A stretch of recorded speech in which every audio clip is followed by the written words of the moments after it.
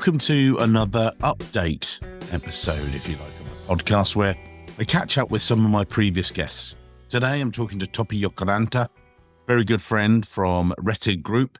When we last spoke, he was the head of group treasury back in April 2019. Now he's the CFO. This is one of our update episodes where we talk to some of our treasurers, this case, three years later. And we talk to Topi about how Treasury prepared him in the positive and some of the negative ways for being a CFO. What it did, you know, as a springboard episode, springboard into CFO ship. Enjoy today's episode.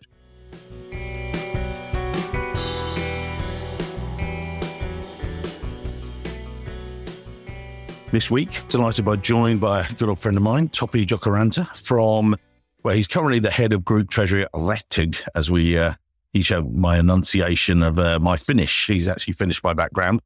And Rettig is a Finnish family owned investment group with approximately, well, euro 1 billion of turnover and a variety of different investments. But, you know, we'll come on to that a bit later. Topi can explain that.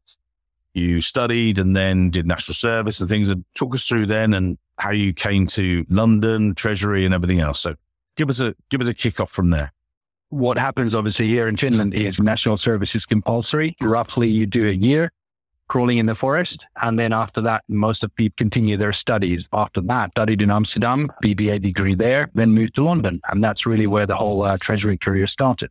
No. And then, and you say you moved to London and you thought, oh, London wasn't too nice. Uh, let's, let's go to Bracknell. Or talk you through, because you actually started at Hewlett Packard. And before the show, we were saying that We've previously interviewed Connor Marr, who used to be at HP, and obviously there's a few other guys that have sort of gone HP and some of the similar places yourself. But how did that role come about, and how did you hear about Treasury? As part of the studies, we had to work somewhere abroad. And I happened to do my work training part of the studies at Hewlett Packard. Through that, I ended up just contacting the same organization and it, that they have this European Treasury Center uh, in the UK. And then I just got lucky. I managed to uh, get my first uh, treasury job there. It was cash management. It's really just learning the very basics, but it was great because, you know, there were many other fairly junior people there and also then some seniors to guide you through. For example, Connor was there at the same time. And so that was the, the first touch really to treasury systems and money market and a little bit of foreign exchange and all these things kind of started flooding in. That was how I ended up there through um, university, really. And was Treasury an accidental choice, or had you heard about it before, or did you think, oh, that's an area I want to be in? Because obviously that was that was quite a while ago, so it's still not in its infancy, it been around for a while. But you know, we said a lot of people get into Treasury by accident a lot of the time. Yes, I think it was half accident. I'm, I majored in corporate finance, so I wanted to do something to do with finance. And I very nearly stayed in Amsterdam. I, I wanted to and something to do with, you know, perhaps the stock market, perhaps derivatives. And uh, there, there was a possibility to stay there and, and uh, start learning and, and work with options. But then I thought, you perhaps um, I would prefer to work for a real company. So I ended up actually then um, in treasury. So half accident, but then that turned out to be a very good accident. And I really haven't looked back since. And then you joined Ray Christopher at Regus. So talk, talk us through some of the moves then that happened that was a fairly busy time. We built some uh, cash forecasting systems there. It was expanding very, very fast. They just gone public. This was before I joined. Just explain. This is, yeah, this is Regus. Correct. Yeah. Yes, Regus PLC. And, and, and so it was really just learning to be a public company and, and really building various pieces of the treasury expanding very fast. Some people could say even too fast. And then um, obviously that was also at the time when um, when the 9-11 attacks happened and uh, Regus had a big flagship office in, in New York. So that was a very strange time that then caused um, real issues for the company. And that was a fairly short stint that I did there, but I learned a lot because, you know, really it was myself and Ray.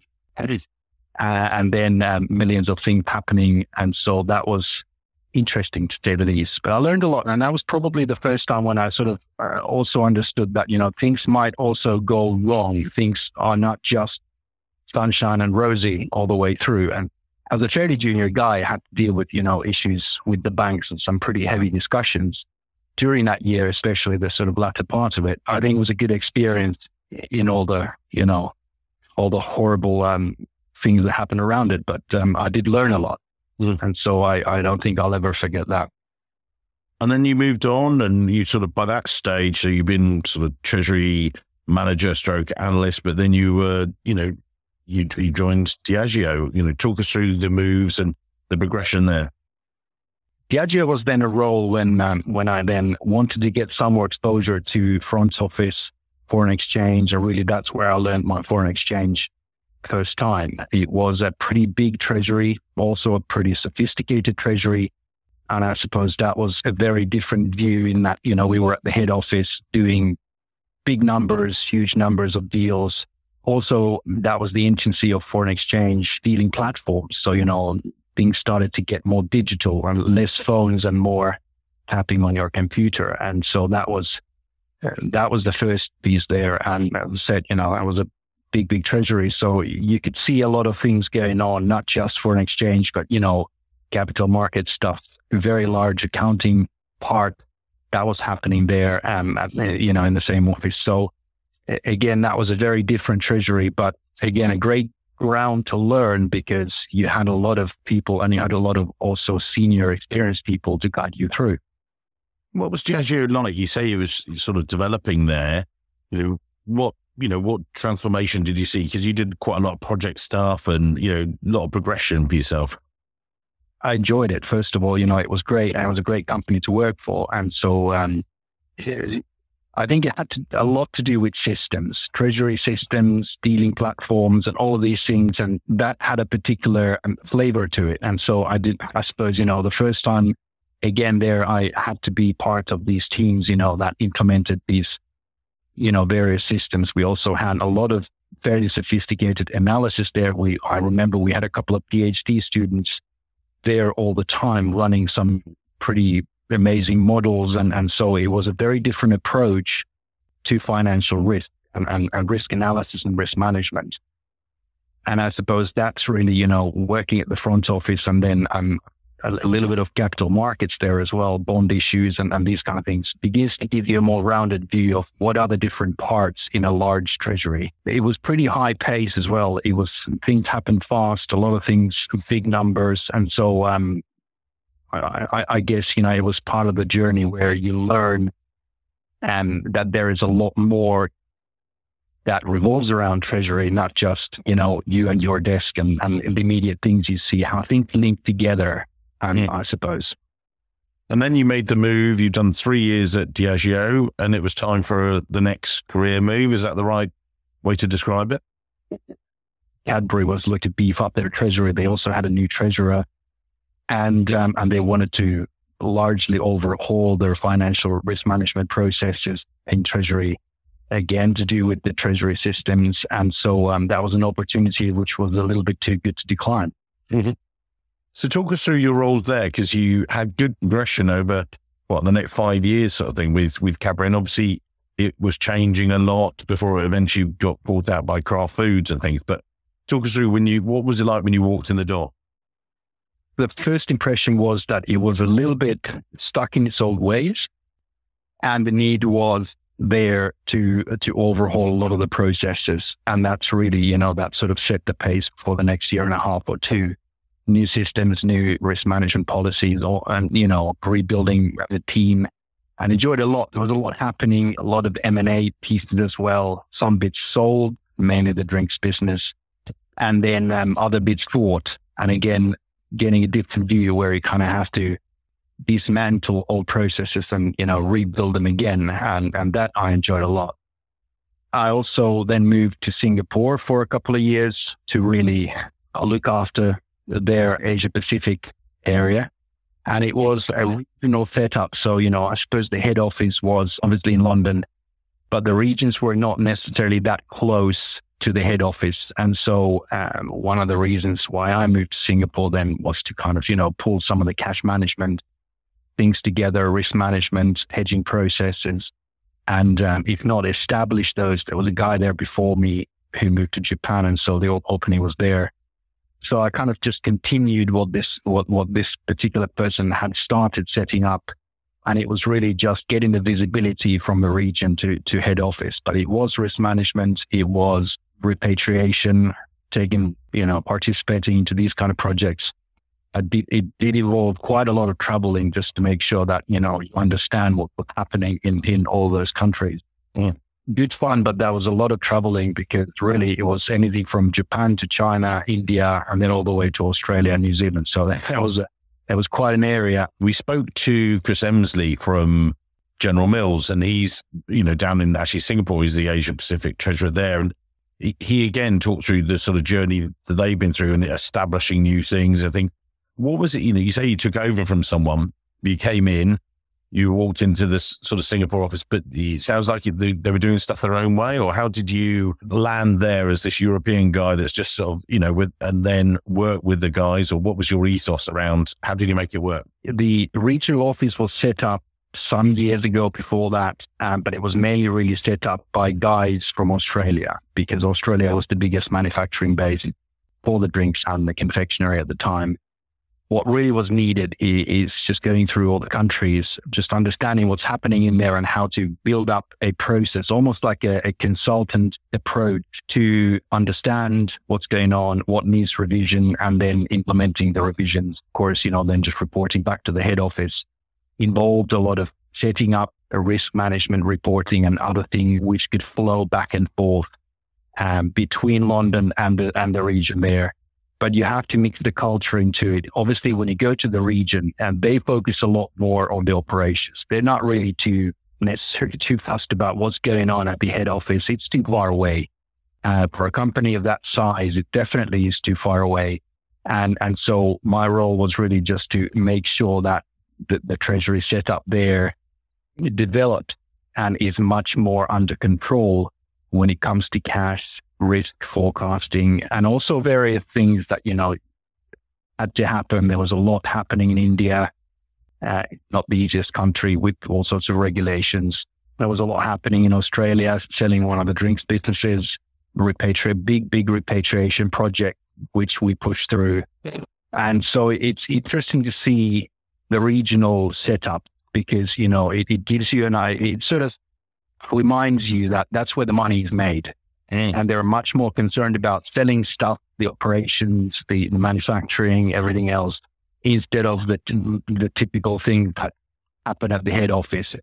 And so that gave me the perspective that, you know, you really got to have to listen to the guys on the ground before you start dropping decisions on them. Mm. And, and they the, exactly. And then you mix mm. the cultural thing to that. One thing is, you know, perhaps having a clear idea in your head what to do. But when it comes to implementing something in Japan, in Thailand, or in Australia, you have to do it in a very different way uh, in, in all these countries. And I thoroughly enjoyed it. It was an absolute stunning trip for, for a couple of years, even though it was pretty busy. Lots of time on the plane. And then, then you decided you had enough time on the plane. It's time to come back to and work back in the UK. Or what, what prompted that? Really was just a secondment. You know, it, it, was kind of agreed that it's about two years and that that's really what it was. Then back to the head office and, and really we continued setting up the regional treasury at the same time when I was in the Asia Pacific. Uh, same thing was happening in, in, in Americas region. Same thing was happening in the EMEA. And so we had the two other regional treasurers who worked, you know, and, and did exactly the same sort of thing in all the regions. And of course, by the time I was back, it was much more much more in control. And so we could focus a, a little bit more on, you know, maybe leading it heavier from the, um, maybe that's not the right word, but, you know, having a better control from the head office and then focusing on other things you could layer on like cash pooling and other things, which you could then develop. It was just a natural step to come back. And of course, by the time I came back, this takeover talk started with Kraft. First, it was friendly talk and then it turned hostile very quickly. And we know how it turned out and it was a bit of a shock to all of us how it really turned out. And so before I left, the Kraft Treasury, if I remember right, was in Switzerland. And, um, and then, of course, they wanted to consolidate a lot of the functional um, Treasury work. I decided that that wasn't for me anymore. That was the kind of natural time to then perhaps look for something else. We also came back. We came back from Singapore, just made it back before the, before our second kid was born. Maybe that was another sort of natural point to kind of think, well, okay, perhaps we'll uh, we'll do something else. Yeah. So you completed your experience there, confectionery, consumer goods, and everything else, and then made another consumer move to retail, so to Tesco. Talk us through that, and then so you did Tesco, and then you decided to head back to Finland and stuff. But talk talk us through those couple of moves. Yes, Tesco was a little bit like Cadbury. It was a story where a lot more visibility was needed. Instead of having regions, they had very, very large businesses in Eastern Europe and in Asia. Also, um, some in the US wasn't that big, but anyway, you know, the visibility in those businesses wasn't necessarily where it could have been. Yet some of the core processes with Tesco Bank and, and the whole cash management and all that stuff was actually um, very good. And so again, it was more of a story of, you know, trying to pull together and understand what's going on in the businesses. And of course, it did involve, well, not really that much hedging, but, you know, a lot to do with funding and, and forecasting and pulling that in together such that you could have visibility and lead it a little bit more efficiently from, uh, from the head office. And you were international treasurer there. So you were obviously dealing globally or what were the regions that you focused on? all the regions really. We had Eastern Europe and of course UK, that was big. Asia was big, South Korea, Thailand. Mm-hmm. And so we had a team member in Thailand. We had somebody in Hong Kong. Tesco was an interesting in the sense that it, they also had a very large property business. Mm-hmm. Of course, they have to build these shopping malls. And what you would have in the UK is the shops, but in China, it was shopping malls. Mm-hmm. So it was a massive property business, which was booming. And that required quite a bit of quite a bit of attention because the numbers were big and it was mushrooming. So that was part. Eastern Europe was much more established, but regulations in various countries uh, make it a bit difficult. If you compare Hungary to UK or Poland to UK, then you kind of really have to understand what's going on in the ground. The businesses yeah. were really big. So you had to really have a pretty grasp of what's going on there. So that was again a sort of a I wouldn't call it a project, but it was similar kind of tasks to understand what's going on there and pull it together for the head office to manage better. And then you decided to head back to Finland. What happened? Well, family happened really. By this time, two small kids. Uh, my wife had graduated. Uh, she she went back to uni when we were in London, and really she wanted to really think about moving back. Working in London would have required a much bigger house, all pairs and all sorts of other things. And so, um, at the end of the day, I think it was a mutual decision to then perhaps come back here. Also, other family reasons. Our parents obviously are not getting any younger. It was one of those decisions to come back. And Finland, of course, us both being Finns, it was easy in the sense that, you know, it's, it's a bit of a reverse cultural shock having been abroad quite a long time, but turned out well. What happened next was really just a, a long two year project for an American company. Tell us about Carestream. Carestream was a medical business of Kodak. It was basically demerged from the troubled photos and, and cameras business. Um, but this was top notch imaging business, which is to do with the x-rays or x-ray technology and various imaging technology and again, a very different business in the sense they were present in huge amount of countries around the world, a pretty large business as well, about 2 billion uh, turnover. But it was different because most of the clients or that the company was selling to was either states or municipal um, authorities. Right. Well, really what my remit was to start a pretty big project, which was European Middle East um, liquidity management. So we basically did a European wide project to pull the liquidity and cash management and cash pools together and also implement a new treasury system at the same time. And so that was an all out treasury capability build. And that turned out to be quite a project. Easier because I knew my then boss and I had worked with her at the time when we were at Cadbury. So that was interesting because the customer base in the business was very, very different. It wasn't possibly the consumer goods. It was now industrial, healthcare, stuff, high technology. And of course, Europe, Middle East was a huge amount of countries. And of course, the pick was at the time, the European crisis was going on. And so when you're selling stuff to Spanish, Italian, and Greek state or, or municipalities, it wasn't necessarily that easy to actually get paid for your stuff. Mm-hmm. And so it added another twist to it in the middle of all this European crisis going on, added another uh, layer of complexity to it. The project went well. we Eventually, they established a treasury center in Amsterdam. By the time the project was done, came to a decision that, you know, I don't necessarily want to sit in Amsterdam, just having come back a couple of years back. Yeah. So then it was basically time to wrap up that project and then think about perhaps working for somebody else. So you joined, as you say, you're. Um, you, your Finnish accent a little bit better than mine, let's just say. but obviously they're private group, so I don't want to intrude too much in it. But you know, family owned, private. But what what can you tell us about the group, or talk us through some of their sort of treasury setup, if you like? Yes, indeed. And even though this is a private company, if you go onto our website, you will find all the financial statements and everything else, just like any public company would actually publish them. So it's a very open company in that sense. This is a company which started off as way back. This is the, now the ninth generation that's running the company. The near history was shipping, freight ship, ET technology, and then um, lime, lime based mining. But before that, the company was actually in tobacco, alcohol, and sweet confectionery. So, you know, again, they've gone through many cycles of reinventing themselves. And so currently the, the latest change is that it's an investment company holding various investments in the portfolio. The two biggest ones are heating technology, so radiators, underfloor heating, various other systems, which you would also find in the UK. Uh, for example, your Myson radiators would be from Rettig. Nordkalk is the, mine, uh, the mining business. So it's basically limestone, which you then um, take and do various things with it. And it really goes into other industrial processes production of steel, construction, concrete. It goes to environmental processes, glass, chemicals, you name it. And so Rettig is the biggest European heating technology company. Then, then Nordkalk is the biggest Nordic one.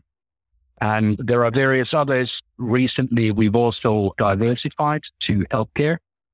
So we now hold uh, a very sizable stake in a, a Finnish private uh, healthcare provider, Terveystalo, as well as some financial. Uh, in the financial sector, we hold um, also a very sizable stake in a fund manager and corporate finance house called EQ.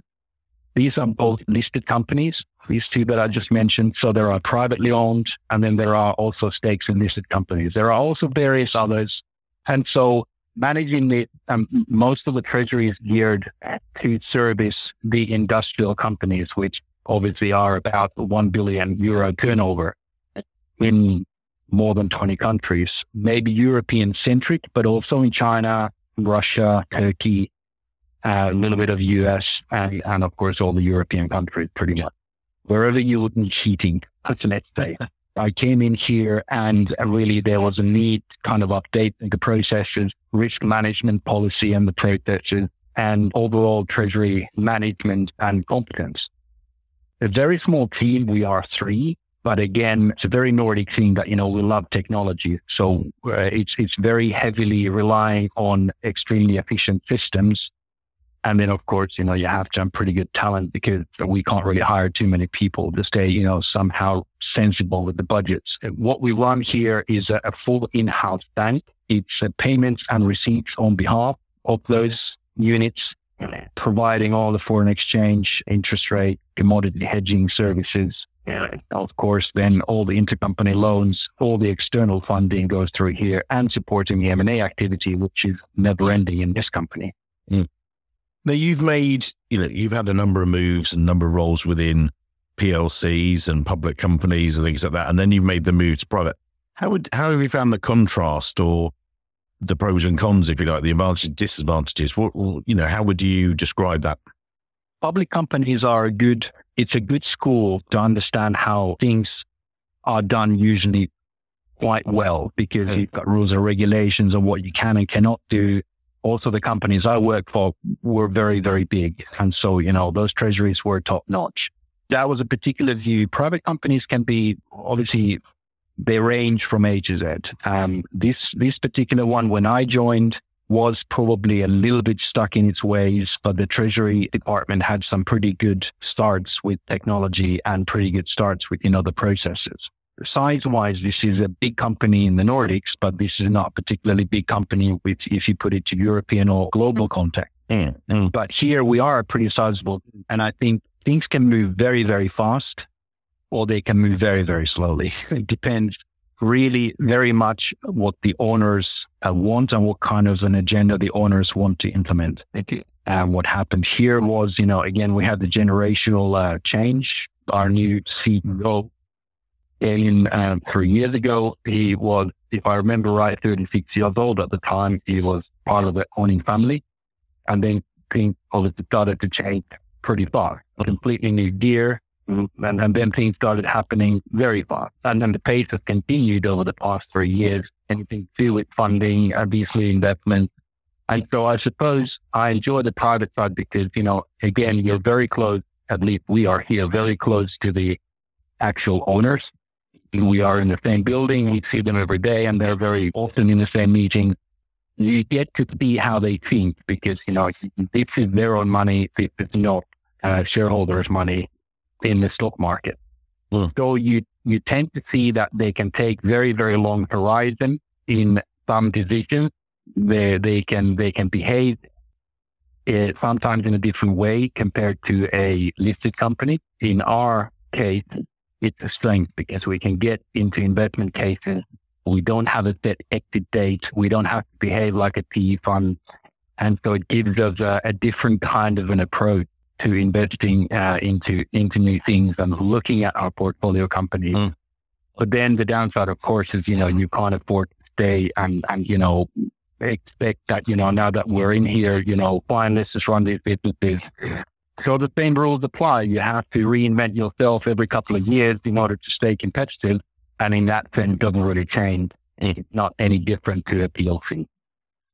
And just you talked there and touched on you know that they have this ethos around technology and things. Where do you see technology and where do you see the future of Treasury? Recently spoke to Ronan from Honeywell, and he was talking about AI automation and lots of different things like that. Is that something coming along to you guys, or are you going a different direction, or what was technology doing for you? When I refer to technology, it's really using the available treasury system in the in-house bank engine. or a Finnish provider, uh, electronic invoicing when it comes to that side of things. And so artificial intelligence and robotics and all that, not necessarily, that takes a bit of time. It can also take a, a, a, be investment in the sense that at least you need some people to uh, learn how to do that and then teach the others. What we focused on is really taking the products in the market and without customizing anything. I mean, customizations are kind of software houses don't really want to do that. Mean, we don't really have the budget to kind of, you know, take a system and then customize it for our needs. So what we've done is, you know, make the most of the system, but then develop the processes and fine tune the processes so we can get by with three people and service the whole group uh, right. fully house banks, just taking the systems and pushing those to the limits. We also take it, take an approach that, you know, things are very modular. It's not just one system that does everything. We pick maybe two, three systems, and then we use the bits from those which are best fit for a particular process. And then we make those systems talk to each other. And that, I think, is the recipe that's been successful for us. So, you know, picking three or four core systems uh, using the best bits from them and then just um, having them talk to each other. And then I suppose we've got some, I would call it robotics or AI, but really it's some automation which we've done with bits of middleware where we can consolidate and retrieve information and basically turn it into understandable information very fast. So supplementing the systems with some customized things, but they are not I mean, it's mostly Excel based, but you can do a lot in that system if you use clever people to help you. Just looking back over your your career and your history, if you like, one of the things I, I noticed here was your ethos or attitude to study. You know, we'll come on to the, some of the people that are there with you and, you know, recruitment ideas. But when you're looking or when, when you look back over your career, rather, you've got treasury qualification. You've also then most recently studied you know, relatively recently for an MBA. What, why go to all the effort? What do you think that gives you? And then does that then influence you when you're looking for people and recruiting that you've got those things in your back pocket, as it were? I enjoy studying. It's one of those things that it, it's always one of these things when you go back and uh, you have clever professors who might be going through things that you've studied before. But again, it's a refresher to start with. Second of all, you know, you do always learn something new. So the treasury, the AMCT, as it was called back then, was an absolutely key thing because it really gives you the theory and the hardcore of, you know, what this whole thing revolves around. So that's actually something I put in my team through as we see. Not very common in Finland. Not many people have done it or are doing it in Finland, but these two guys are doing it. And, and I think they will be very, um, very surprised by the time, you know, they're finished with it. It's a really good degree. MBA was another, um, it's a completely different thing, you know, where you would have maybe 20, 20 people there from completely different backgrounds, top professors from the best universities. And so it gives you a theoretical depth, but it also gives you the opportunity to go through problems.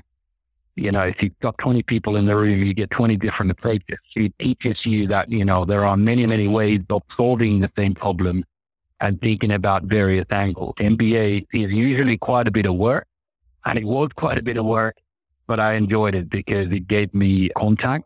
And, you know, I know a lot more people and I also understand how the business works in this country. This is, I think is actually the 13th company I work for. So it was one of the, one of the twists. But MBA gives you a completely different angle. Is it worth it? I think it is. But if you do it, you have to go really all in. It's no point sitting there for, you know, half of the lectures and then uh, you really kind of have to use the time and match the time and invest in it. And then it gives you a lovely payback.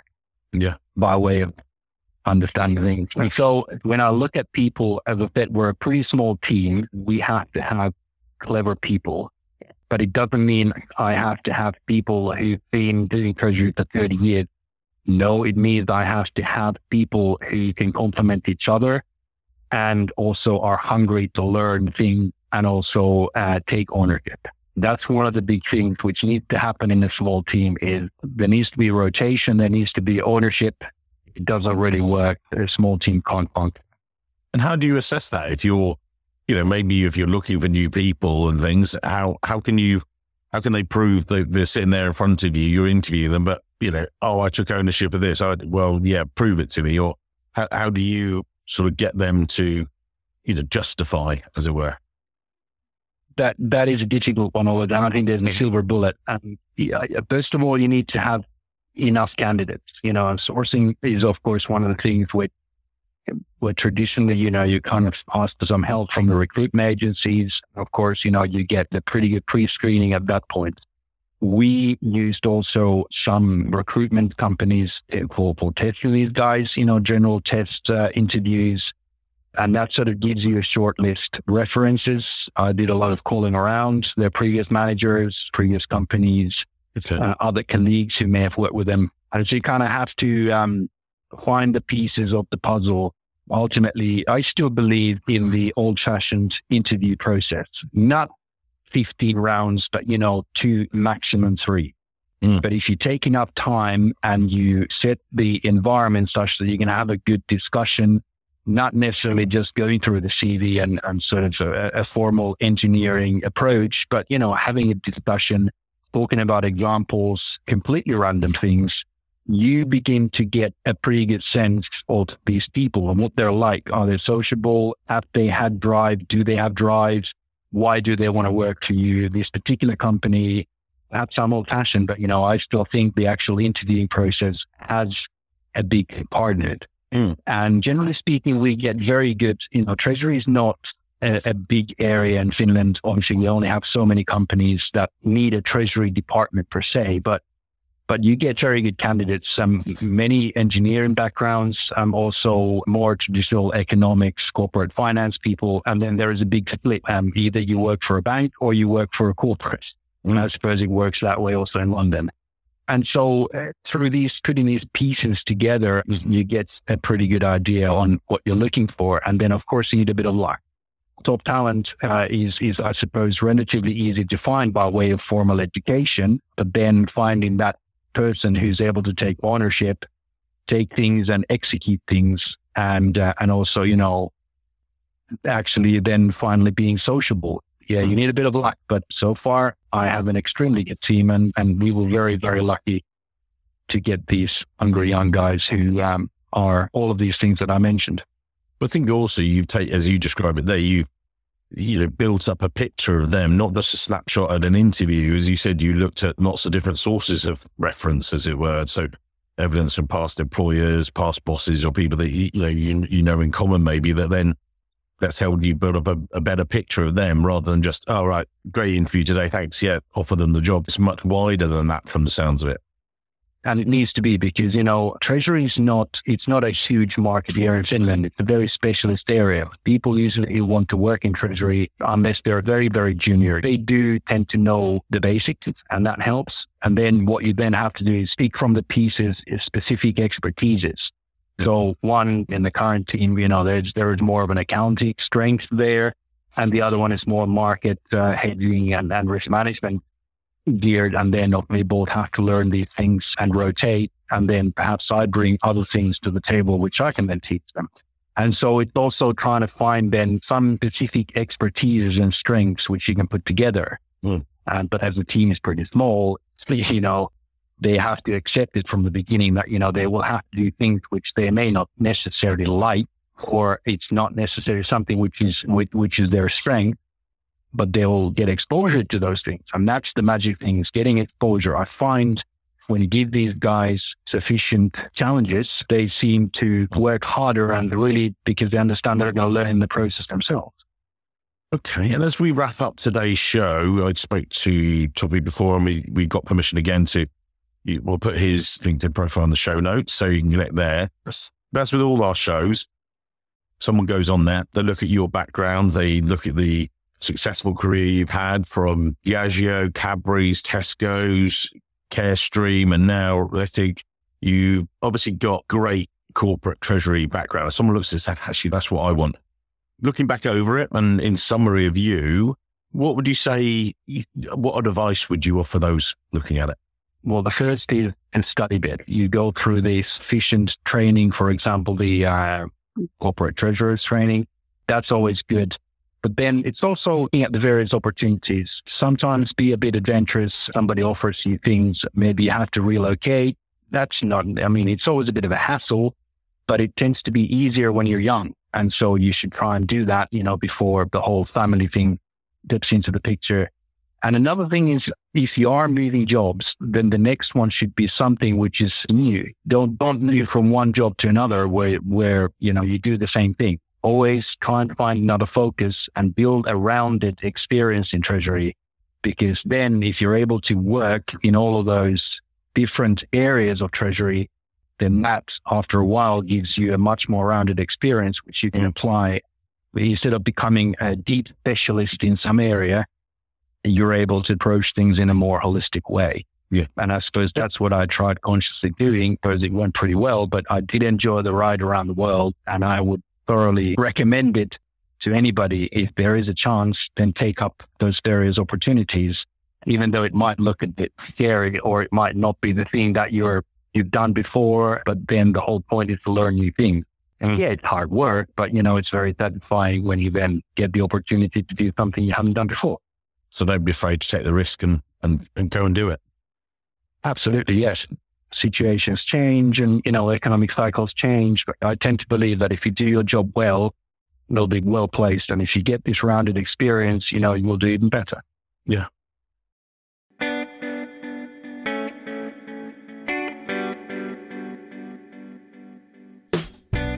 So I hope you enjoyed that amazing episode with Topi. Uh, that was back in April 2019. Wow.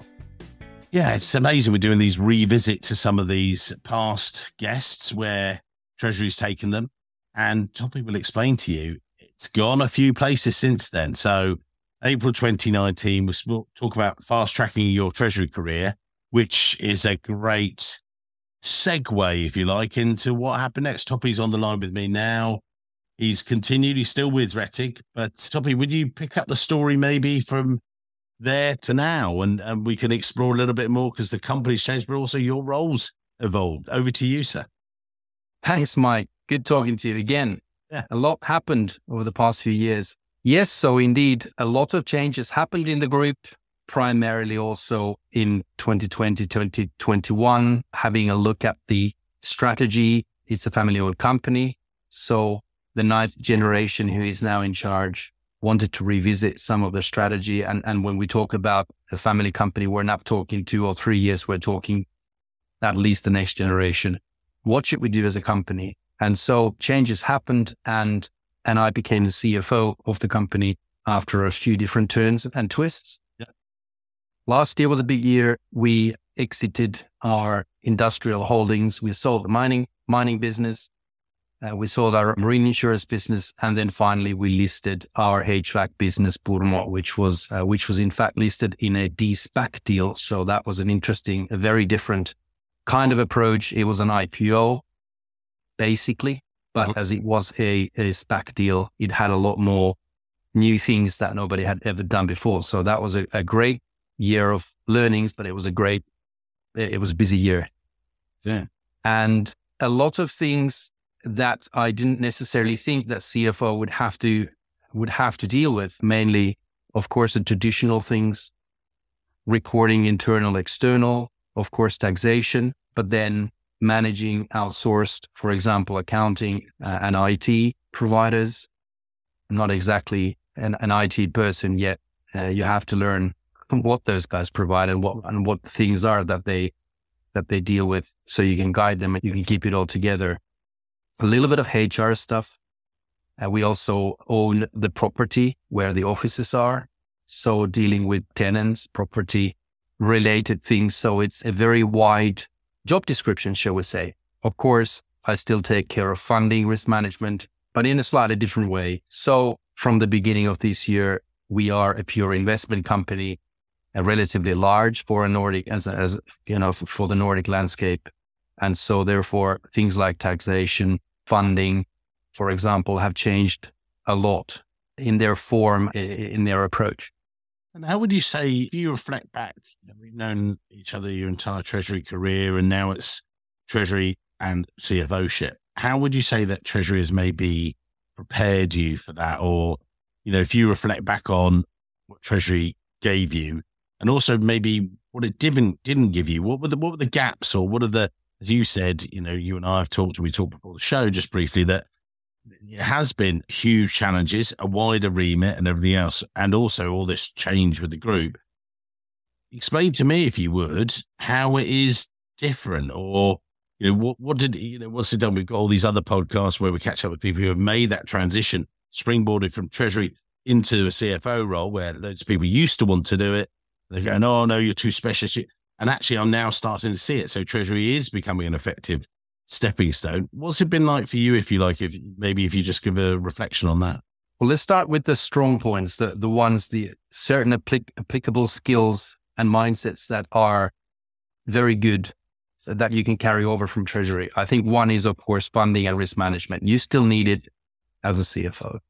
Ultimately, even though you might not be directly operating those things yourself, you're still at least morally responsible for your team to, to, to carry those tasks properly. What's been very good is that because I dealt with funding and risk management, and now the whole funding scene changed from basically borrowing money based on cash flows and no collateral. Now, as an investment company, it changes completely different. It is now based on collaterals.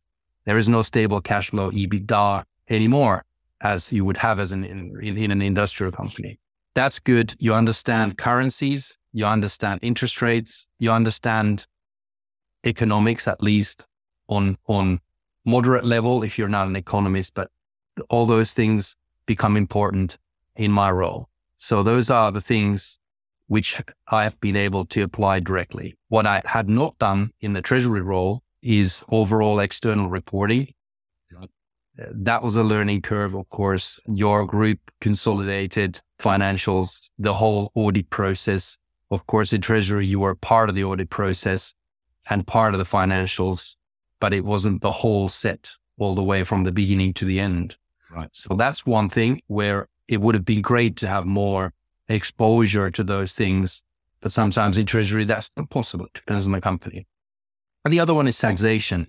Taxation is something you understand in treasury in relation to treasury instruments and how realized and unrealized things come through in your P&L and what you need to do with them. But when you are a CFO, you have to take responsibility for all of the taxation. That's the income taxation, capital gains, losses, value added tax, VATs, and interest deductions, all sorts of other things, and, and the whole of the transfer pricing, which you still need in, in many, at least in a group where you've got many subsidiaries. So that was a thing where I probably lacked most knowledge. And how do we solve it was, well, we have the big four companies, your typical consultants who can then help you and you can draw on that support. Mm-hmm. And the agreement was then that we will simply use those relationships, deepen them, and then ask for substantial help so we get all those tricky things solved up front and we don't have to get surprises along the way. And maybe maybe a little bit more legal work as well, not just treasury related funding or or typical treasury contracts, but everything flows through my desk. So a little bit of the same thing applies with attorneys, you know, different offices. And so we've got good relationships with a, with a few and we liaise with those guys heavily in order to make sure that all the legals are in good shape. Topi, you touched on there that you didn't have input to the account start to finish because it wasn't your role before, but you know, you've identified that as a, not necessarily a skills gap by any means, but sort of an exposure gap, if you like, and where, you know, so if, if there are people listening and we, you know, we try and educate these, you know, junior guys, more senior guys about what they should be thinking that they're listening now, they go, wow. And it's always great content with you because you, you've got such clarity of thought and, and then you're lucky to be listening to this, everyone listening. It's, this podcast is free. We should be charging for this amazing content. Don't worry, we're not going to charge. But joking aside, it, like you know, you look looking back, you know, and, and as again, someone listening, they might go, "Oh, yeah, well, I should." What advice are you giving? These aren't the takeaways. We'll come to those in a minute. But what are the pieces of advice as you know? Again, maybe in reflective mood, you sit back in your armchair, not with a whiskey yet, maybe later. Vodka. You gave me some amazing Finnish vodka before. still, still remember drinking that. That was very nice. But in general, what what would you say to those guys listening that you know they should think about doing, or should they do other placements, or they should you know you know try and get involved in this, this, this, or what what would you sort of recommend to people? The right way. Yes, it very much depends on the organization. If it is a large organization, then there are many opportunities. And I think the first thing is put your hand up and say, I'm interested. I'd like to volunteer participating in projects, be it M&A, be it funding, policy, a little bit on the financial statements, maybe notes to the accounts. Try to get involved. Ask if you can be involved because that's how you get the exposure. Treasury is slightly technical mm-hmm. and, and I often say that can be, it goes both ways. When you step out of the treasury department area, that's usually where understanding of treasury dissipates after that. And so you understand those technical things, try to get exposure to other things which are around you maybe some of the tax things if there are projects going on but but some of the obvious things where th- that come treasury's way often would be m&a projects transactions big reorganizations get into those teams if you can because they give you great insight into how the company works and that's where you begin to get understanding of what other things happen around you in the company and you get that exposure which is not necessarily 100% directly in your job description yeah. or your responsibility. But in a good organization, if your boss or or some other departments understand and they want to collaborate, then grab the opportunity. Because it's also, as you say, it's going to, you're preparing yourself. You're building, you know, we talked about treasury in the past being a foundation sort of for many areas, but sometimes it lacks specificity, you know, and, and actually having that skill set, exactly as you described there, that you know, get out of your comfort zone, but also having someone like yourself that's in that role, CFO, and having been in treasury, you you know, been there when it, and you definitely got the t-shirt. So, you know, it's something that people can definitely learn from. I mean, you've been very kind. We, we jumped on this last minute, really, to have a, a great catch up with Toppy. Topi, who's kind for this time. But again, you gave some great takeaways in the previous episode. But on top of that, we're three years later. You know, we've been through pandemic. You know, you may be reflecting on that and everything else. What other things would you maybe reshare with the audience that they you think they should be doing? You know, we touched on a little bit of that, but that and or you know your reflection go, yeah, I wish I'd done this. Wish I said this. What are your thoughts? Over the past three years, the the whole pandemic was it changed a lot of things, and I'm not really sure how to guide people specifically. But what I did take away from that period, first the pandemic, nobody really knows what's happening, and then a bit of a financial crunch happening because nobody knows what's happening, and then realigning a lot of strategies and policies after that. Uh, of course, is kind of natural But what I would say from my transition from treasury to CFO is be prepared to, if you do that step, you're going to have to be involved in many, many things which aren't really directly in your job description. It, it's a general management director role that involves a lot of things that just happen to come along and you're pulled into many things. So, so keep an open mind, be very flexible. That's one. And I would say plan widely. I suppose one of the things that I took away from the whole pandemic thing is let go of some of the old ways. You don't have to sit at the office every day. You can think slightly out of the box and not just with regards to where you sit and where you actually have your laptop any given day, but how you do other things. And, and I think some of the good things that came out of the past two, three years was that people are a lot more flexible on ideas development, and how to approach things. So I guess keep that flexibility. Don't let go of that and, and focus on, still focus on the basics. The basics don't go away. Decent risk management, prudent funding, think ahead. So, so that's fine, but leverage on the opportunity that the past two, three years have provided. Of course, now we've got, especially here in Europe and especially this side of Europe and Finland, the Ukraine crisis, Finland potentially joining NATO, all that stuff is changing the mindsets here in a different way. And it does weird things to risk appetite and it does weird things to your approach, how you deal with the next five years and, and how you make your business model robust. All these shocks that come across tried to find the good outcome in the sense that, well, use it and leverage it to improve the processes and improve your thinking about, well, how do I deal with this in a flexible way and in a, in a sensible way, not just for the next two, two weeks or the next quarter. You know what? If you're listening today, you should be thinking number one, to definitely get Topi in your network. He's an amazing guy to have there some of the stuff there, I was just just listening and listening, and you know, the one that keeps you know, let go of the old ways. Oh my goodness! I mean that that that'll be the subtitle I think for the update episode. You know, because it's so powerful, mate.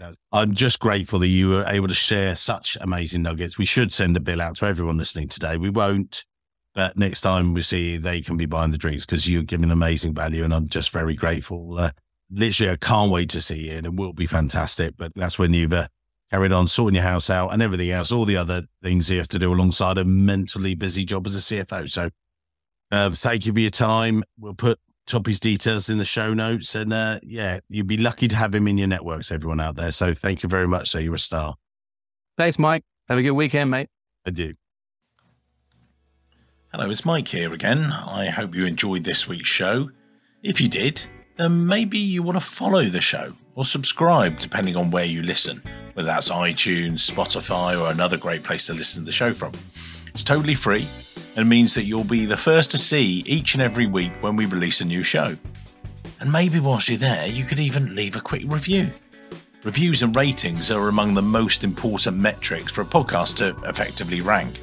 And as you can probably appreciate, the podcast is a lot of hard work to produce every week. It'd be amazing just take, say, 20 seconds, leave a quick review of my amazing guests and their great career stories. We'd really appreciate it. Thanks very much, and I can't wait to see you soon.